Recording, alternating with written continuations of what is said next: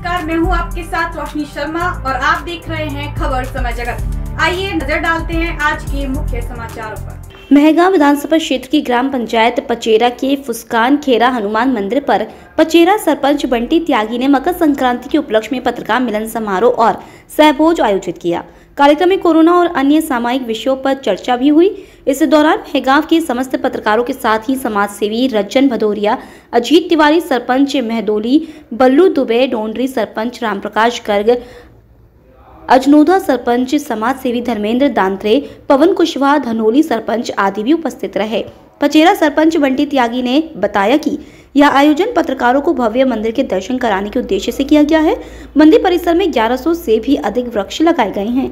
यह हनुमान जी महाराज की सैकड़ों वर्षों की प्रसिद्धि से आस्था का जन सैलाब उमड़ता है।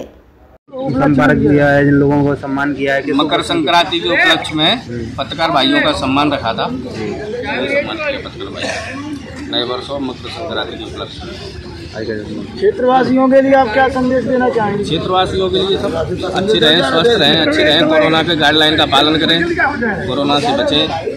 महगांव से खबर समय जगत के लिए जितेंद्र दंडोतिया की रिपोर्ट। For latest news, subscribe to our channel and press the bell icon.